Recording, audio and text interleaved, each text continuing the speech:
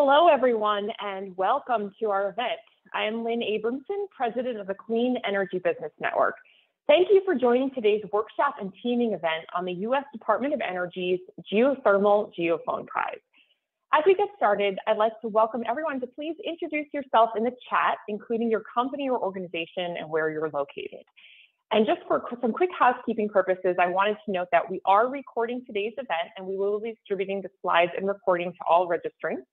And you can feel free to enter questions for our panelists at any time in the chat and we will go over those at the end. So let's briefly go over the agenda. The Geothermal Geophone Prize aims to advance current seismic monitoring technology for high temperature geothermal use. There are multiple industries with technology applicable to solving this challenge, including high temperature electronics, oil and gas, and microseismic monitoring. If you feel like you may have a piece of the puzzle, you may be eligible to compete to win $850,000 in cash prizes and vouchers. Today's two-in-one workshop and teaming event will inform you about the prize and help potential applicants get started. First, I'm going to give you a brief overview of CEBN's resources as a power connector and ways we can assist you in your application. Featured guest speakers will then share more information on the challenges the prize is aiming to solve and discuss how it can advance the current state of the art in seismic monitoring technology. After our presentation and panel, we'll proceed to a networking session to help you connect with other researchers and companies that might offer complementary pieces of the puzzle. Teams of applicants may be stronger for this specific prize, which involves improvements to existing geothermal monitoring technologies, as well as potentially transferable applications from other industries. So first, let me provide a little bit of background on our organization. The Clean Energy Business Network serves as the small business voice for the clean energy economy, working to support small clean tech businesses through policy engagement, market and technology information, and business development assistance. Our network spans more than 6,000 small business leaders across all 50 states and a broad spectrum of technologies and services. CEBN is delighted to serve as a power connector to provide support on the Department of Energy's Geothermal Geophone Prize. We are part of a broad network of nonprofits, national labs, incubators, universities, and other partners that comprise the American Made Network. Lisa Trope from NREL will talk a little bit more about this network in a moment. Next slide, please. We offer a range of tools to support applicants for the Geophone Prize and other funding opportunities. These include our free US Clean Tech Funding Database, which is a searchable repository of funding opportunities across a broad range of clean energy technologies.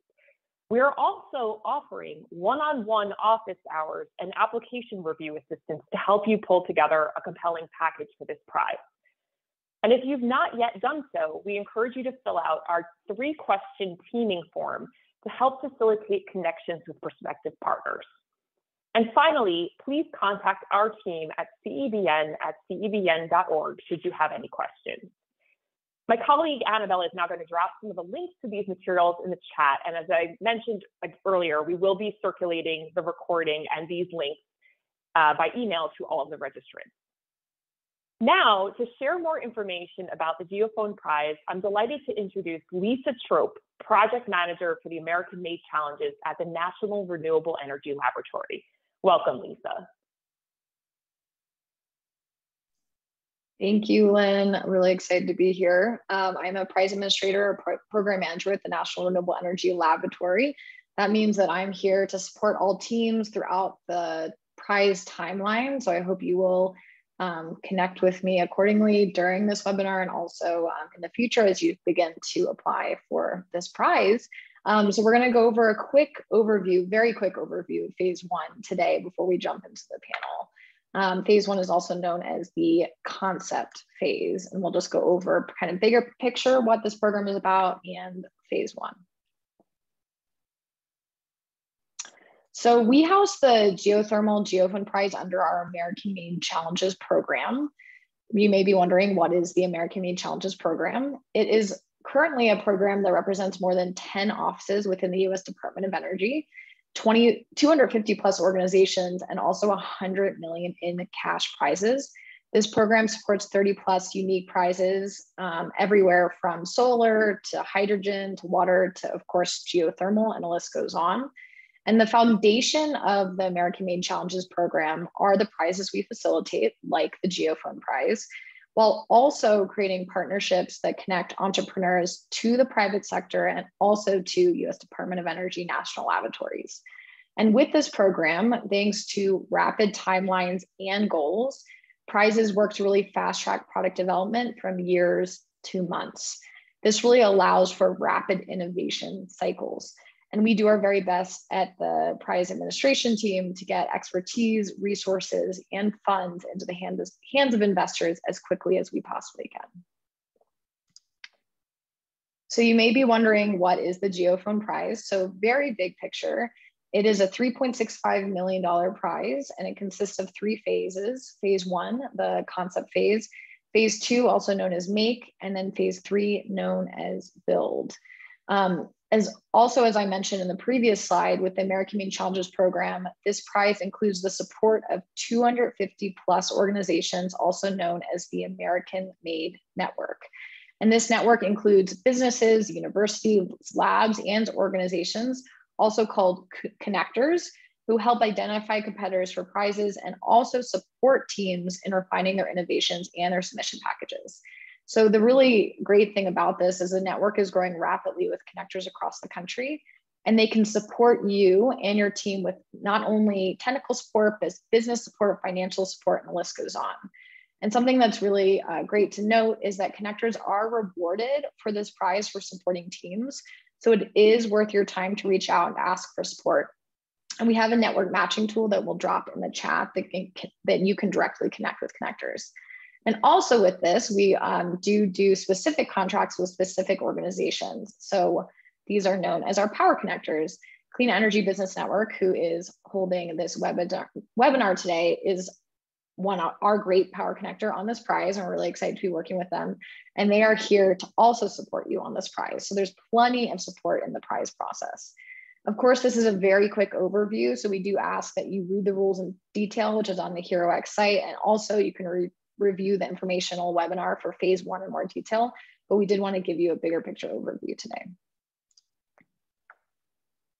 So for phase one, what is the goal? For phase one, participants will demonstrate that they have identified and developed an initial concept for a high temperature downhole seismic sensor that utilizes current available components or a prototype currently under development.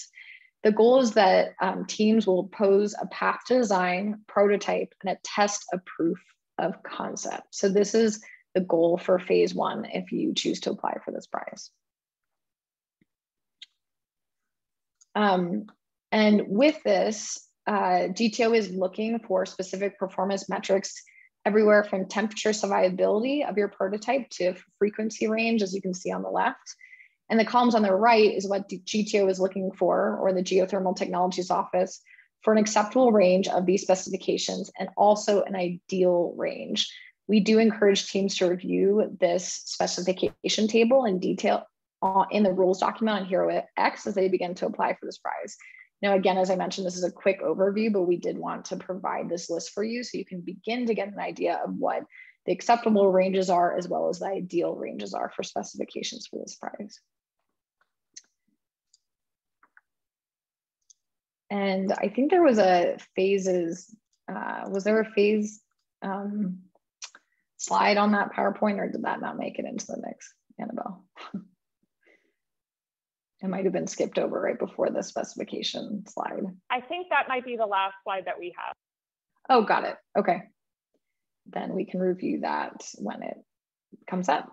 Um, but that is bigger picture overview of the geothermal prize and I'm really excited to jump into the panel today, answer any questions you all have, and hopefully uh, be able to connect afterward. Thanks. Wonderful. Thank you so much for that overview, Lisa. And as Lisa mentioned, uh, our colleague Annabelle is pasting some of the links to those prize materials in the chat. And as I mentioned earlier, we will be circulating those after today's event. So um, I'm really delighted to be welcoming our expert panelists to provide further context on the latest state of the art in geothermal seismic monitoring technology and the goals of this prize. So in addition to Lisa Trope from NREL, whom we've already introduced, I'd like to invite our distinguished panel to join us on stage. We're pleased to be joined by Ernie Majer, affiliate scientist, and Michelle Robertson, program manager, both in the Earth and Environmental Sciences Division at Lawrence Berkeley National Laboratory. Craig Hartline, who is senior geophysicist at Calpine, Tim Latimer, CEO of Fervo Energy, and Nicolas Goujon, technical advisor for Stryde.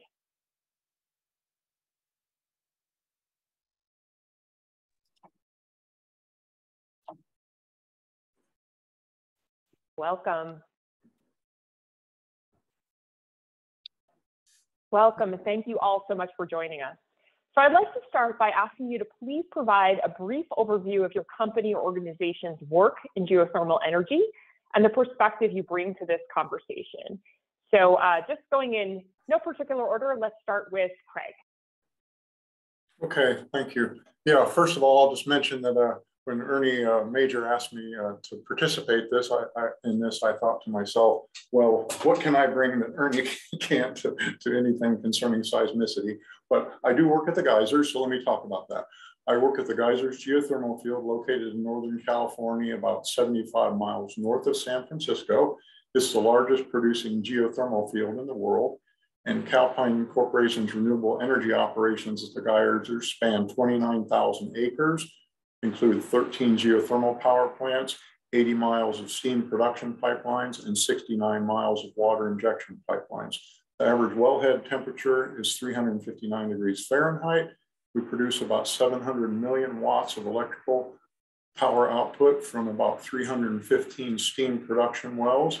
This is the equivalent of the energy requirements of San Francisco. On a yearly basis, about 75% of the dry steam mass produced to the geysers power plants is lost to the atmosphere through uh, cooling towers. So our sustainable electrical power production at the geysers relies on recharge from two large-scale treated wastewater injection projects based in Lake County and Sonoma County. These supply a combined nominal flow rate of about 18.7 million gallons per day.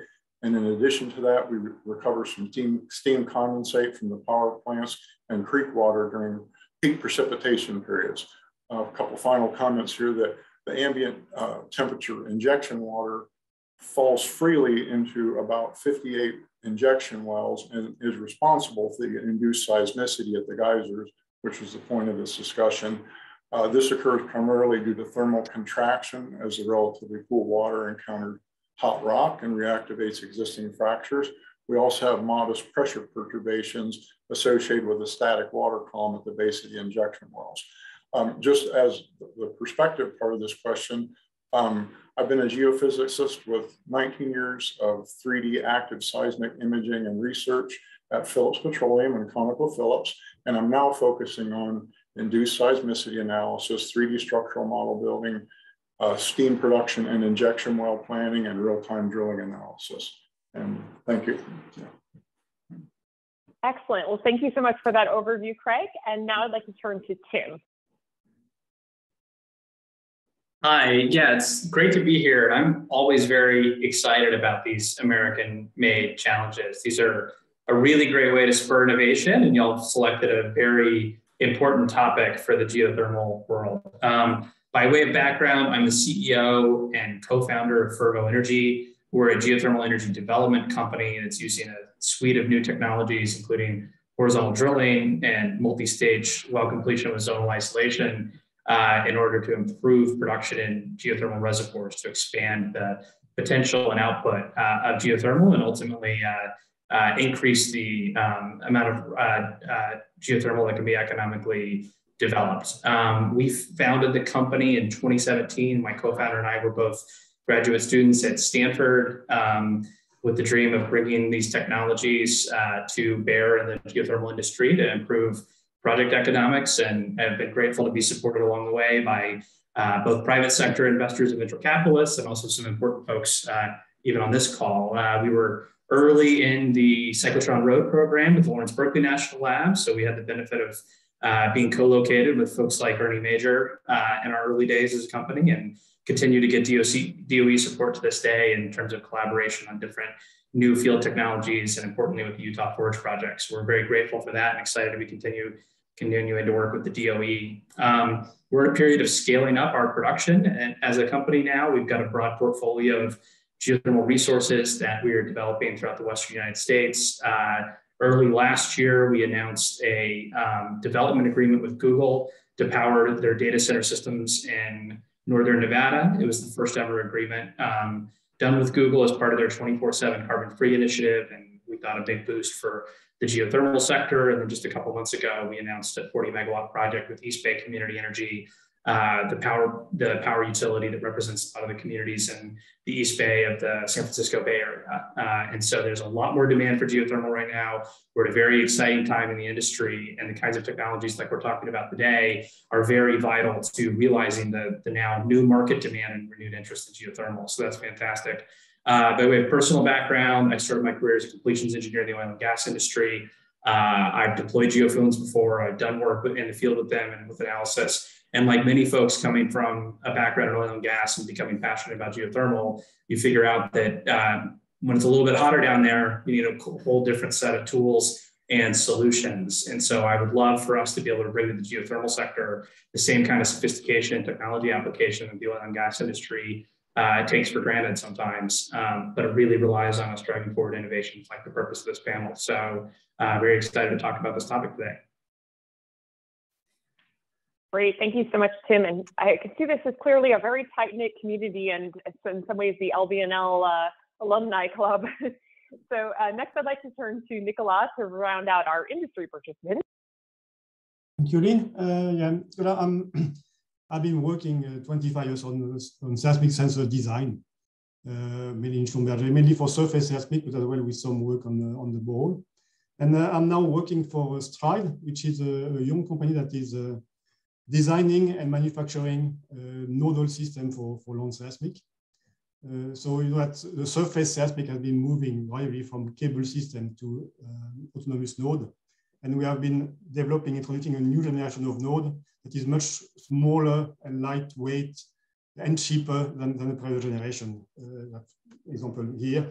So what we have done, it's a new sensor design where we have been using the battery you need to have in such a node as a reaction mass for piezoelectric sensors. And that allows us to have uh, a node that can record data for over months for 150 gram. That is relatively uh, cheap. So we already have been working uh, on, on geothermal exploration mainly, uh, quite a few jobs uh, in Europe, where the size of the node makes it quite easy to use and cheap to use, uh, especially in urban environment. and we actually would like now to move as well to the monitoring side of the geothermy, why I'm here. You. Wonderful. Thank you so much, Nicola. And that is impressive to see that node it's about the same size as my first cell phone back in the 1990s.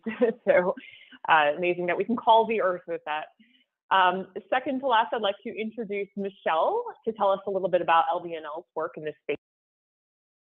Certainly. Um, so Ernie will follow up with probably more detail than mine, but um, we at Berkeley Lab are funded by the Department of Energy and by the Geothermal Technologies Office, um, and often work directly with geothermal operators, such as Craig Hartline's team at the geysers, um, installing monitoring systems and boreholes in and near the geothermal fields for hazard mitigation, for monitoring uh, protocols to maintain public safety, but also for imaging the subsurface toward developing the velocity models and creating the 3D digital structures for modeling the geothermal reservoir behavior. And my background is in field geophysics, so I'm focusing on the seismic monitoring instrumentation. As, as you can see from the Vibroseis behind me, we use that as active source, but we also use passive source energy to be able to test the instrumentation.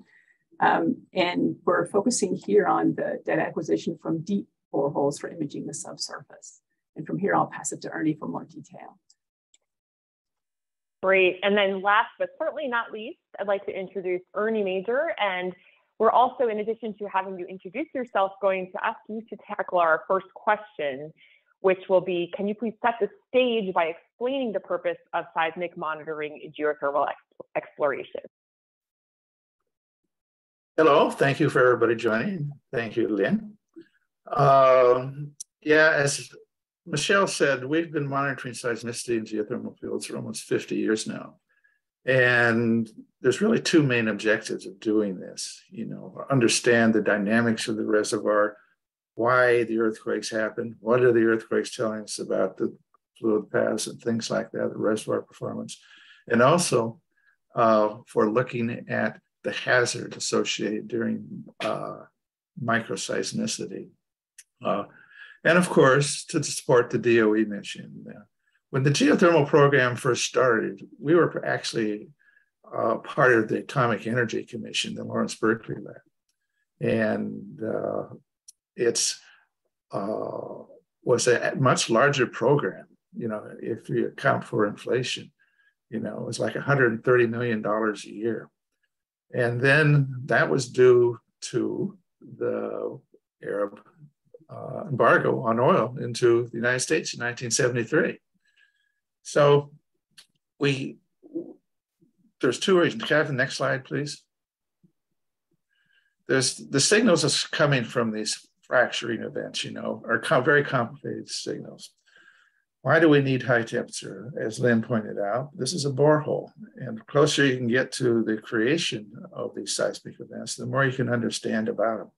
Right now, we can't get as close as we'd like to. Now, the oil and gas industry, they they have the hydrofracture uh, issues, and they have been done doing a very good job because they don't have these high temperatures. And some they're getting up to be maybe 200 C. It's only between 100 C and uh, 150 C.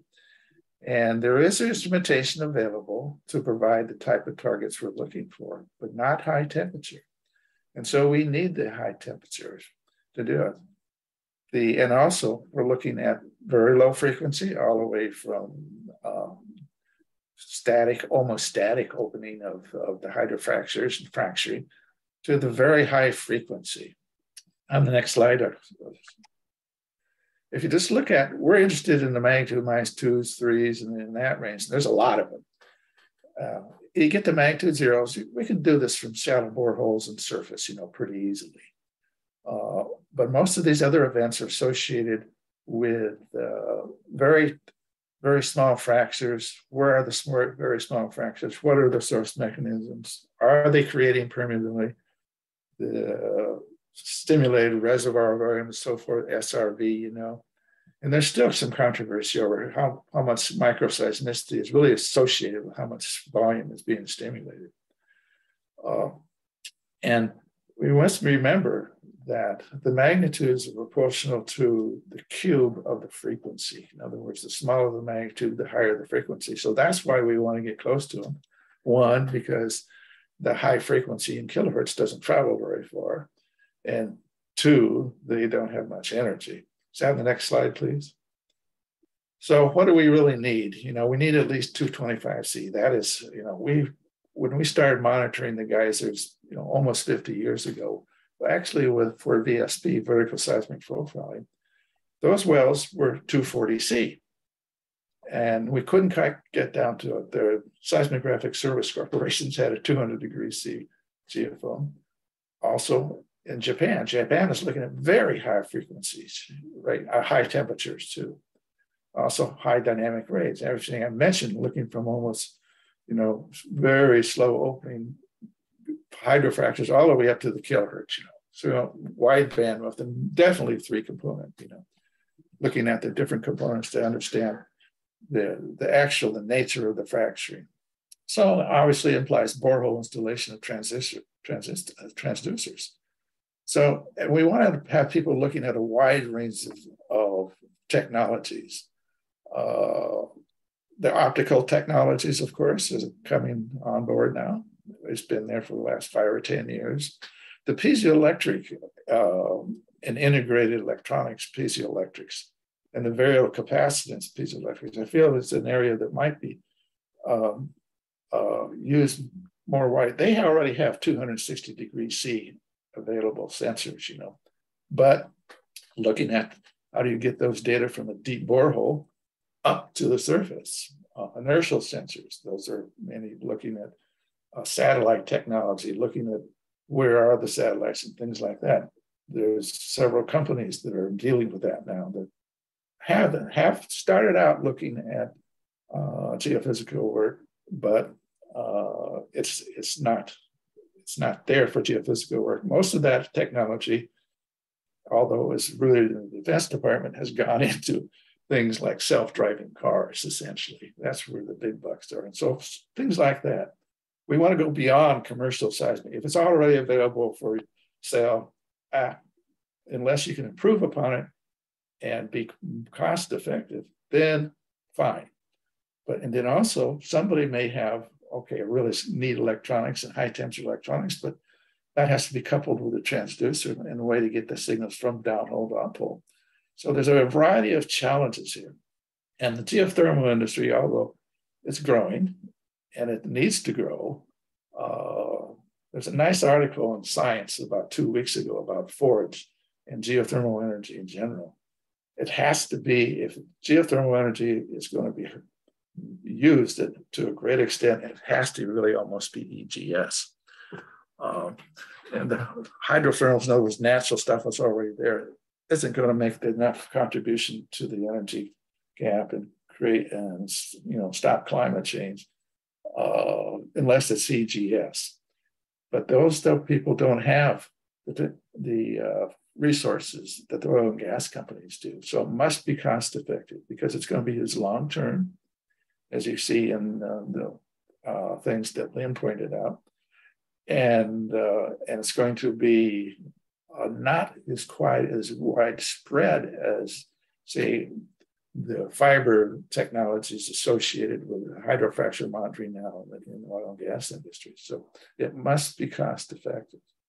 So anyway, I'll turn it over to Craig. And Craig, uh, I thought Craig would be a very good uh, representative to show us, all right, here are the conditions, and this is why we're interested. And the more you can, the more, the more that you can explain to the public on what you know about these microseismicity events, the better off you're going to be, and the more they will accept the technology. So, Craig, um, can you maybe take over from me and, and tell us why you think it's important to have improved instrumentation. Yeah, thank, thank you, Ernie. Um, yeah, so so uh, what I thought I would do is, is talk about the existing seismic monitoring program and the induced seismicity analysis techniques that we're using now at the geyser. Is this a good time to discuss this, Ernie? And then yeah, transition sure. into that? Okay, all right. So what I'd like to do, if it's okay, can we go ahead and, and start the animations on these slides and just go ahead and progress through those while I'm talking? I have four slides here. So while, while this is going, I'll just mention that a three-dimensional structural model of the geyser's geothermal field has been developed using Paradigm Geophysical SKUA GoCAD 3D visualization and model building software. And this is continually being modified, refined by Calpine Corporation. Problems we have Extreme surface topography of the geysers causes access limitation. It prohibits the use of 3D, uh, 2D or 3D seismic data acquisition. And even if we could acquire the data, it's difficult to process that data with the significant datum issues uh, that would be involved in the imaging. An additional thing we have going on at the geysers, the extreme subsurface conditions with high temperature and corrosive fluids significantly limit the typical oil and gas geophysical logging methods to investigate the properties of the geyser's complex metamorphic and, and fractured uh, steam reservoir. Um, yeah, so I think we're at the end of that first slide there. And if you want to go ahead and progress uh, through that one also, that's okay. Um, yeah, so anyway, we'll leave it right at that point for a minute. So consequently, the primary structural model building constraints for this complex assemblage of rocks include 940 lithology log segments and the resulting lithology surface ArcGIS surface geologic maps, steam entries, and really importantly, we're using refined tomographic double difference seismicity hypocenters available from the Northern California Earthquake Data Center. This is essentially real-time seismic data uh, that's available due to an excellent seismicity research collaboration with the US Geological Survey and particularly with Lawrence Berkeley National Laboratory Dr. Ernie Majer has been the primary force behind the development of the 38 station, three component LBNL permanent seismic monitoring network that's distributed throughout and slightly beyond the geyser steam field. So the SKUA GoCAD software was originally designed for the oil and gas industry and allows synchronized time animation of water injection interval volumes and induced seismicity hypocenters at any time step and time interval. So for clarity and detail, these synchronized animations can be spatially limited and generally in the form of variously oriented uh, seismicity uh, hypocenter slices, thin slices. A good way to think of this is similar to uh, using uh, an MRI or magnetic resonance imaging by medical experts during assessment of injuries. Uh, the seismicity patterns or alignments that are evident in static displays or that evolve during time animations of the geysers induced seismicity appear directly indicative of the fluid flow pathways. Uh, these are generally near vertical fault and fracture networks oriented to the current stress field, and also fluid flow progressing until it encounters, encounters relatively linear fluid flow boundaries that we believe are hydrological or uh, geological discontinuities. So anyway, variously oriented seismicity slices contribute to the interpretation of fracture and fault surfaces, structural discontinuities, and lithology contrast. And this provides an additional and significant constraint on the 3D structural model building process. So kind of to sum up, um, what, what, we're looking at in, in, this view now is, is a, just a depth slice from 7,500 to 8,500 feet sub-sea. And here we can see very clearly that the steam reservoir appears, reservoir appears to be subdivided by intersecting zones of faulting and fracturing, resulting in steam reservoir compartmentalization. Now go ahead and progress on to the last slide, please. And um, the comments to be made here, I've talked about the constraints on this. What, what I'd like to mention here is that the goal here is a refined understanding of fluid flow paths, fluid boundaries, reservoir heterogeneity, and reservoir compartmentalization assists with our well planning efforts, uh, targeting, uh, real-time drilling analysis, reservoir management, and very importantly, it's providing a significant potential for improved seismicity mitigation of the geysers. Um, that was kind of the, the point I was going to stop on this. Uh, if if, if uh, Ernie wishes me to go ahead and get into the why we want these technological advances, uh, would you like me to go ahead and do that quickly too, Ernie, at this time?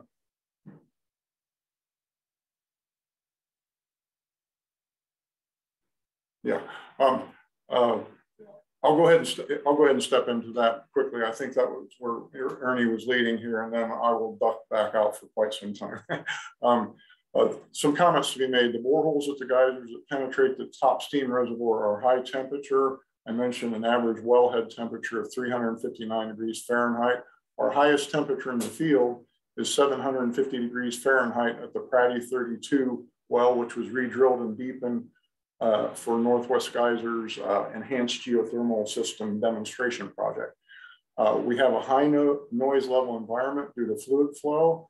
The water injection flow can reduce the temperature, but it in introduces noise. We have coupling issues for steam wells when they're not fluid filled. We have often corrosive uh, conditions with high chloride, hydrogen sulfide, and non-condensable gas percentages. This is especially prominent in the Northwest geysers. Um, uh, so what do we want to do, do going forward? Uh, borehole sensors are, are, as we all, know, most of us know in this, in this discussion already, uh, provide a better signal to noise ratio. We've tested these in some shallow boreholes at the geysers. There are some 150 foot Unocal boreholes, some 500 foot Ultrarot boreholes uh, that have been tested. We currently have some new geospace uh, technology sensors uh, that are designed for borehole. We're going to put in the summer. These are also three component. Uh, some things of interest to us are uh, very interested in developments with the fiber optical sensors because they have no electronics below the water line and, and, and very good uh, uh, frequency response sensitivity. Um, one comment to be made with lower drilling costs, a very good solution could be dedicated seismic monitoring boreholes that do not entirely reach the steam reservoir. Once we reach the steam reservoir, then we've got a lot of issues with higher temperature and with uh, the um, um, uh, corrosive fluids and the noise. So uh, getting back to a comment made by Nicolas, uh, many low cost, low maintenance sensors would be a very good solution for us if we're going to put them closer to the surface, uh, providing higher resolution and a lower magnitude threshold because of their uh, fine, finer grid spacing or, or array spacing. And just a, a, a, final comment on that topic would be that the California Energy Commission has funded a high resolution seismic program that we've been involved with since they're back in uh, uh, 2017, I believe.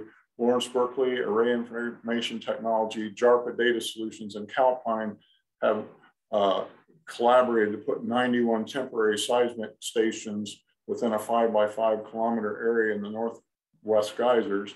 And Tomographic updates of the velocity model have been completed by Dr. Roland Gritto, uh, along with work by Lawrence Berkeley Labs. And the results have been very encouraging. We're seeing that areas where we know there's fluid replacement of steam by water, we're seeing in, uh, increases in uh, P wave velocities and uh, sh shear wave or VS velocities are going up in some areas consistent with competent rock. And a final comment on this before turning it back over would be just an improved velocity model, uh, it, minimization of the error in the, the seismicity hypocentral position would be key for us to see these patterns even more clearly.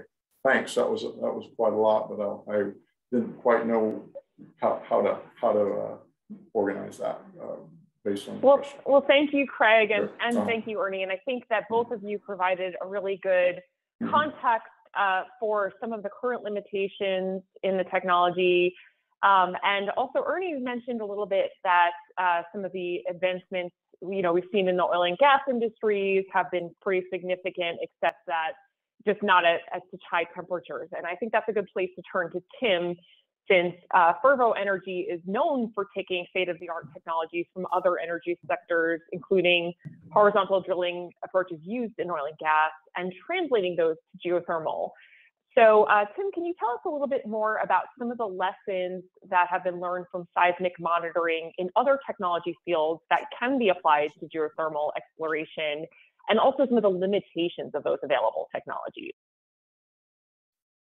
Yes, uh, definitely. I think, um, as I mentioned, I started my career in oil and gas. I, I am not a geophysicist. so I don't know if I could do the justice that uh, Craig and Ernie did to this topic, but I can talk a little bit broadly about what we're seeing in, in geothermal and some of the differences. I, I think whenever one of the key differences, you know, when I talked about using uh, geophones and microseismic monitoring in the past, it was through unconventional uh, oil and gas assets, primarily to do monitoring and analysis and optimization of hydraulic, hydraulic fracturing treatments. I started my career in the Permian Basin in West Texas. Um, and it's very difficult to imagine the shale industry taking off uh, the way that it did had there not been precise measurements to constrain things like the fracture geometry, to understand what worked and what didn't, to understand well spacing decisions, um, and when you look at the way reservoirs are, are developed in geothermal, it's many of the same challenges, but just with kind of a twist to it, where things have to be done a little bit differently. So,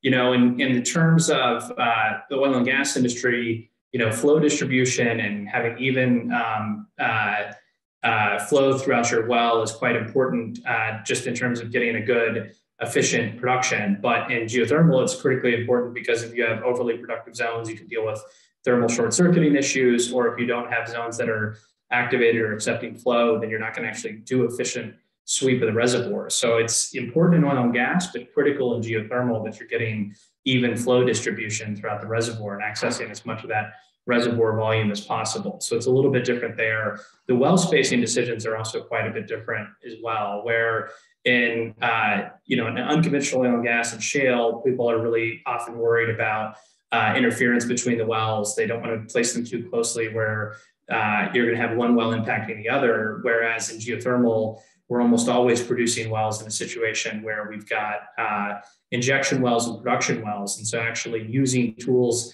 like microseismic monitoring to get come up with high resolution measurements to understand where you can place those wells are quite important um, in terms of understanding and getting that right efficient, um, you know, both thermal sweep and high fluid flow necessary for the geothermal sector. Um, so there's quite a bit diff- a few differences uh, in how we would use this compared to oil and gas. But then, as we've already talked about here, there's even differences in how they're deployed as well. And so I think when we look at uh, our company's needs, and I did talk to the geophysicists on our team before this panel uh, to figure out what their asks were. And one thing I'd like to point out, I think that the specifications developed in this prize are quite powerful for the reasons that Ernie and Craig have articulated already. But um, even before we get to 225C, there's there's still a ways to go to get to other temperature windows as well. So our company, we do work, uh, um, so far we work exclusively in reservoirs that are in the range of 350 to 400 degrees Fahrenheit, or, you know, around 170 to one, uh, you know, 180 to, to 200 C. And even at those temperatures, we see uh, major reliability issues that limit some of the deployability and availability of, of uh, geophones. And um, in addition to that, uh, you know, there's other steps needed to not only put them in a vertical context, but go to those temperatures and um, deploy them in a horizontal context like we do in oil and gas. And the prize for that, whenever you look at the technology challenges we need to address to unlock the true price of geothermal and sort of understanding our reservoir volumes better, understanding our flow distribution better, figuring out how we optimize um, the right thermal sweep and sweep efficiency between injection and production wells and place the wells in the ideal location to do that. Uh, geophones and microseismic monitoring are very powerful tools to learn quickly, drive optimization, and come up with much better performing projects. Um, but it can only be done if we can figure out how to upgrade the tools and address some of these technology challenges so that we can access that whole set of tools. So we're very excited about this. We think it's a very it's a necessary step to really unlock the next phase of geothermal growth. And I will I don't know if this is the right time, I know, uh, but I'll put in a plug that um, the other thing my geophysicist asked is, is uh, any groups out there looking for technical specifications or understanding what real world deployment um, looks like, and especially as you think about doing uh, proof of concept and downhole testing, you know, we're, we're quite available to share our experiences uh, and what the actual um, conditions for deployment look like for tools like this. And, and um, really excited to see where this prize goes. Great, and I really appreciate that offer, Tim, because that is exactly, you know, we want this. I know this prize is intended to be based in and founded in what the industry's needs are, and um, that's the type of uh, you know, collaboration that we're hoping to facilitate in the teaming portion of this event, which will follow this discussion. Uh, so I want to turn now to Nicola, uh, because I know that we've talked a little bit about how cost effectiveness of the technology is a critical component. And Stryde's focus is on bringing down the cost of seismic sensors so that you can deploy a larger density of these sensors and further illuminate the picture of seismicity. So can you talk a little bit more about this effort and how it might apply to downhole sensing? Yes, I can. Yeah. So yeah, I, will start talking about uh, surface seismic first and uh, what becomes that, and then I'll try at the end to see how that could apply or not to to borehole seismic. Uh, so our journey in Stryde has been trying to to see how we could improve the surface seismic uh, equipment. And the question is, could we get better data and what is needed to get better data uh, at the end. And so the first thing we looked at is, could, should we have better sensors? Should we improve the specs? And then we, we looked a little bit at that and we found out that it didn't, didn't in the case of surface seismic, didn't make much difference because there's a lot of perturbation in the seismic data record. Uh, Craig mentioned coupling. Uh, there is all, and the Earth is not perfect. We're trying to measure reflection or a macroseismic event from a, the distant location, but then it's propagating through the Earth. And then there's a lot of things happening uh, through the Earth before you measure it. Uh, and then that introduces a lot of perturbation in your data. And we found out that having a better sensors actually didn't make much of a difference. Was, what was making a difference is to have more sensors, to have more data because then, then you can try to better understand this perturbation uh, that are happening to the seismic wave along, along, its way. And then you can better illuminate uh, these events recording from different uh, different direction. And actually that's what's going to help you to, at the end to get better data. So I think for our conclusion for uh, surface seismic is that to improve seismic data, uh, the, the, solution was not to improve the sensor, it was to have more sensors. And then the sensor then should be cheaper and easier to deploy. And that was really uh, the, the route we took. And actually to the point where we said that some of the specific level sensors were not actually that important and we could relax some of them to make it cheaper and to make it smaller. And that's really what uh, we have been doing is trying, and that's why we ended up with such a small uh, sensors to be able to have more of them. And that was the route to getting better seismic data.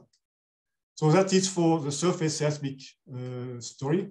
So how much is applicable to downhole? Uh, as, as Ellie said, some of the events we're trying to measure, the very small magnitude events uh, that's happening uh, close to the ball, you need to be down there to measure them. They are very high frequency, you need a very high resolution sensors, and there's not much choice. You need a sensor there uh, that is good enough to, to measure it. On the other hand, you could discuss, does this sensor as well need to record the low frequency, large magnitude events? those one, as uh, Craig and both said as well, it could be recorded either in shallower hole not that high, than not at hot, or even at the surface for some of them. Uh, so I would say that yes, you need better sensors for the borehole. You need to go down to temperature. You need to measure the high resolution, high frequency event if you want that. There's no choice. You need better sensors for that. But for a part of the monitoring uh, that is more the higher uh, magnitude uh, events, there might be a combination, complementary of different type of sensors in different locations. And for those sensors, then probably the cost and the ease of deployment are the most important parameters. Uh, maybe in combination with some very high-end sensors that you need to go really close to the to the events. So that's what I would conclude that for people that are a bit scared by some of the of the spec, okay, some of them for some sensors will be needed, but they might, I, I believe there might be room for sensors that are not really following all those specs that could be still be useful as part of the solution uh, for, for monitoring. Yes, that's a really helpful clarification, Nicolas. And it, it does sound like uh, you know incremental progress towards the overall overall um, guidelines and surprise would be helpful. And uh, so I want to turn to Michelle, uh, since I know that you played a very active role in crafting the specifications for this prize. So this is a good segue. Um, so can you talk a little bit, having heard from our various panelists about the current state of geothermal down, downhole seismic monitoring, um, can you just elaborate on some of your takeaways and the goals that this prize seeks to address? Yes, no problem. Um, so just as, as sort of to summarize what people have been saying, over the last few decades, and as you've heard, industry has developed excellent sensors for surface monitoring. Um, these are wide bandwidth, uh, high sensitivity, low noise floor. They're relatively easy to deploy. Um, they're reasonable cost, and they can perform for years and years without maintenance. And there are also instruments that within that same performance range that can be deployed in shallow boreholes, say up to 100 meters, with similar excellent performance. Um, but these systems are often limited to shallow depths and to much cooler temperatures than you would see in a geothermal field. Um, as far as the, the high temperature borehole sensors that exist now, yes, of course they exist. We've got geophones out there that are, you know, from uh, probably in the 1900s technologies, if you want to call it that, that perform well enough. Yes, they do um, at 200C, but they're not wide bandwidth, they're not high sensitivity, the noise floor isn't as good as the performance we need to be able to receive those very small events that we need to be able to record at depth to, to um, develop, say, high velocity, excuse me, um, high resolution velocity models, or the things that we need to actually be able to image the pressure networks down below. So just as a, to summarize what we're trying to get to is that even though the sensors do exist, um, industry has been working on the high temperature borehole sensors. They've been working hard at it, trying to, to solve some of the problems. Um, but the, the challenges we have are that we do need to operate at temperatures of 225 or 250 C for six months or more um, at depths of oh, one to two, possibly three or four kilometers, depending on the geothermal field. We need the wide bandwidth, high sensitivity, low noise floor to be able to receive those very small events. We need to push that data all the way up to the surface And those sensors, once they're deployed, we need to make sure that they're not needing regular maintenance, as in you don't need to yank them out every two weeks to replace the sensors to throw them back in again. They need to have minimal loss in performance over that time period. And it's a challenge because things decay at, at high temperatures. Um, so it's it's we're looking for instruments that that parts exist um, that are development the where it is right now is is some of the parameters are met um, but we're looking for something that would maybe encompass maybe three or four of those parameters so that we can still get the very wide bandwidth of the low noise floor so we can hear those tiny events at depth. That's really helpful. And I think that definitely helps to uh, frame the brainstorming for potential applicants um, with those parameters in mind. So um, I want to turn back to Lisa with respect to the prize itself. And I know when we speak to entrepreneurs and researchers that are considering applying for federal funding, these applicants often have to balance the level of effort in the application process against the potential benefit. So can you talk a little bit more about why entrepreneurs um, and researchers should invest the effort to apply for this prize and also talk a little bit about whether or not you're expecting a large volume of applications.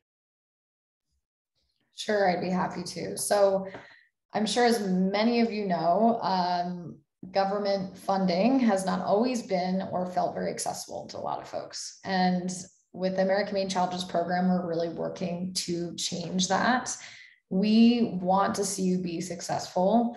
And with this prize model, as I discussed earlier, we are giving away cash prizes with no strings attached, meaning that you can use that money at your own accord, as well as connecting you with distinguished partners as well as labs to be able to work on your prototypes.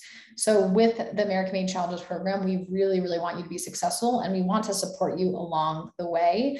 As I mentioned, um, we not only give away the cash prizes, but also you have an opportunity to connect with folks on the call today who are clearly experts in this field and very passionate about it, as well as CEBN, as well as connectors across the country. And also, it's not a huge lift to apply. So we're really hoping there are there is a technical narrative. You'll have to answer a few questions around what you believe um, your solution is to this problem to be able to create more effective and long-term seismic sensors. Um, you'll be asked to uh, submit a video, a cover page, but it is not a huge lift for being able to receive cash prizes with no strings attached, as well as support from our partners and national labs. So our whole point in American Made Challenges is to really make this accessible for you and also to really support you throughout the process so you can be successful. Um, we can't know how many teams will apply for this prize. However, seeing that this is a very niche field, we don't expect a huge applicant pool. And if you feel that you have a possible viable solution, we highly encourage you to apply for this. Um, so again, we're just here to support you along the way. Uh, this mission is not a huge lift like it often can be with other government programs. Um, and yeah, we're here to, to help you be successful. So really hope if you're joining today and you're on the fence that you will apply.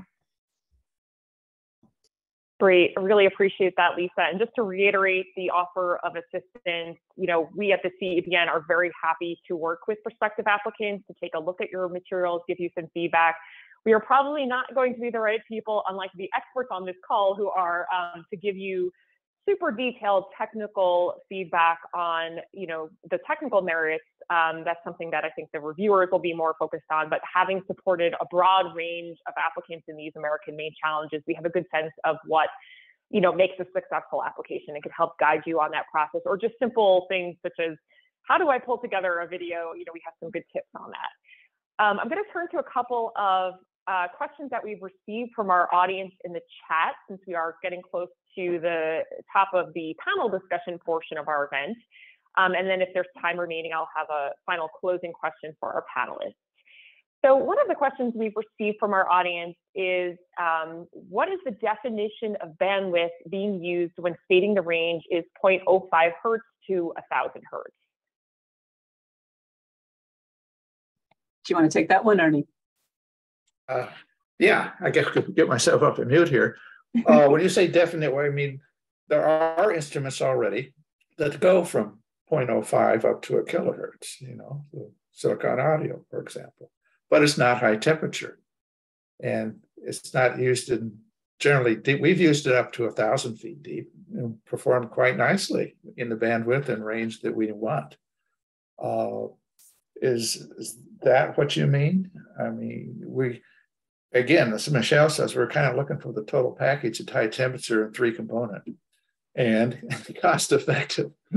Other than that, this is going to be easy. okay. And I think uh, it looks like we're getting some further follow-on questions from Mike Wiley, and I'm going to suggest actually in our teaming session, perhaps in the first one, we can make sure that um, Ernie and Mike are put together in that first group to further explore any detailed questions on this front. Um, and that, another question I'd like to pose to Michelle, and I think we've touched on this a little bit already, um, but just to you know kind of thread the needle on this, uh, are the specifications derived from actual customer requirements, or are they transferred from lower temperature equivalent technology? That's, I'd say it's a combination of both. Um, the the geothermal operators need the, the results from the instrumentation, from the monitoring instrumentation. Actually, Craig, you can also um, reply to this one after I'm done. Is is the sensors need to be sensitive enough to be able to detect the lower magnitude events necessary to be able to image the subsurface. So we, we get those collections from them, but we also know that we what we can do with our lower temperature instrumentation, what those do, can do at the surface. Um, we're limited by uh, noise at the surface. We're limited by the, the cost of deployment of those surface instruments and deep in a borehole, and not, the instruments themselves are also limited by temperature. So it, it is a combination of, of uh, operator needs, but also what the lower temperature instruments can do. And if we can possibly move what the performance is the lower temperature to the higher temperature, it's going to solve a lot of problems for the operators themselves. Do you want to add to that, Craig? Um, I, I, I, think, yeah, I think you did a very nice job with that. The, the only thing that uh, I, I would wish to add is that uh, we, and I, and Lynn, I, I don't know if this is a good time to discuss this, just say yes or no. Um, uh, we at the geysers have to be concerned with, with our community relations. Um, and, and is now a good time to, to very briefly discuss that? Yes, I was going to uh, close on that note. Um, okay. Um, but since you okay. have brought it up. That's yeah. okay. Let's uh, close I, on it. Yeah, okay. Go ahead. Okay, well, um, with that in mind, um, and I guess actually there's just one other quick question that before we get to that, and then we'll we'll end on that final note. Um, does and this could be for our NREL um, NREL folks, but uh, or for the industry participants. Does the tool have to be wireline and clamped, or can it be designed exclusively for behind casing? And similarly, is an installation in the concrete shoe of the well with wires, fibers upwards behind the case? Hopefully, you understand that question a little bit better than I do.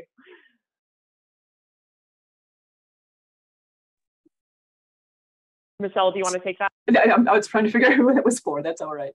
Um, so right now for the first phase, um, it's it's just the tool itself. Don't worry about having to come up with your own deployment system or your locking arm system or anything like that. If, if, if it can be put inside something else that would have those capabilities, that's fine.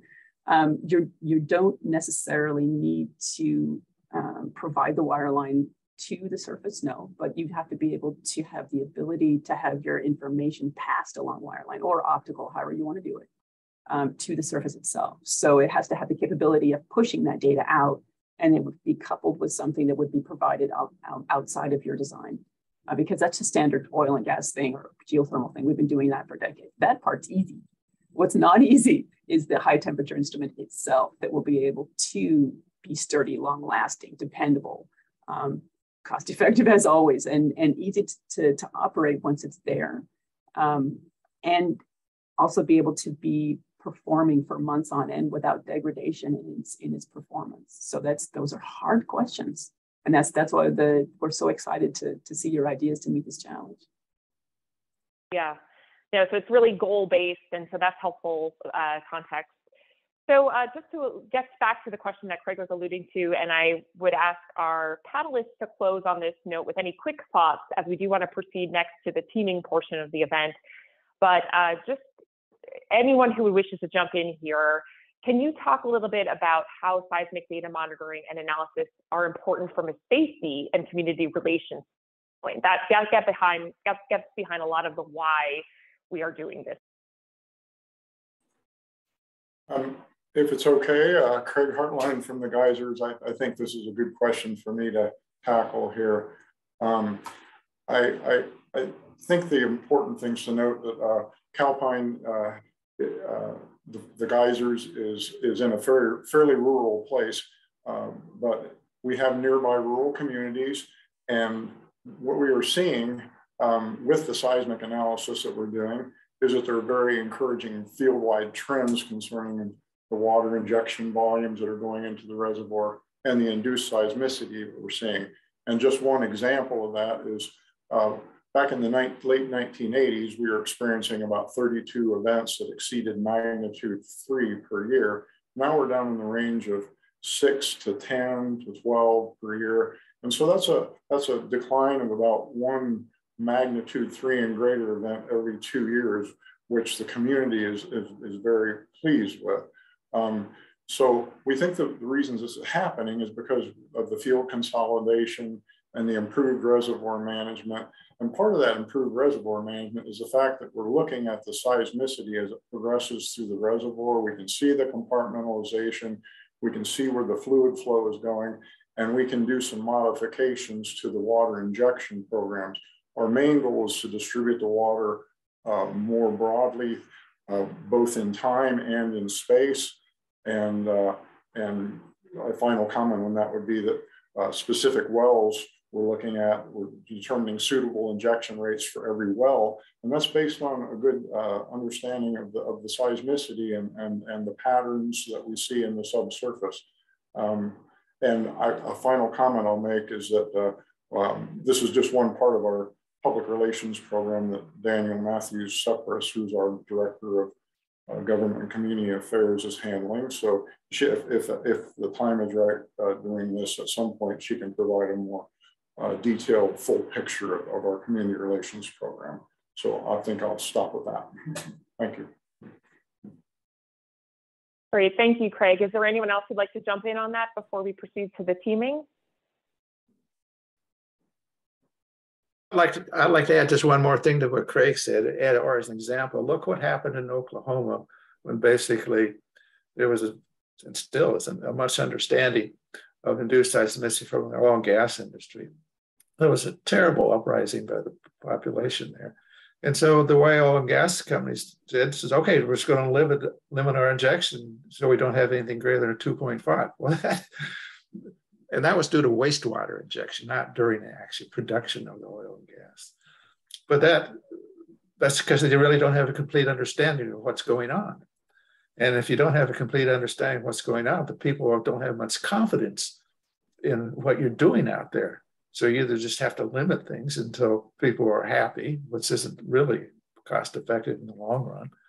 And so geothermal, we don't want to go that way with geothermal. You know, you want to be able to put uh, EGS projects closer to the main population areas, you know, less transmission losses, things like that, you know. And if to make EGS viable and up to maybe a 10% of the energy's country of the, the country's energy needs, then that's what we have to do. Come up with a better. We've gotten a few black eyes already in, in Basel, Switzerland, you know, and in Pohang recently. Uh, and that's because we really didn't have enough characterization and fuller understanding of what's going on. So we need to do that. Great. Well, I really appreciate the expertise of our panelists as well as some of the thoughtful questions we're getting from our audience. And uh, please don't go anywhere. Um, I know that this is a little bit of a longer event than uh, you know you might typically see in a more static webinar format, but for those who are able to stay, we're really excited to now invite you to join the second half of our event, which is the teaming event.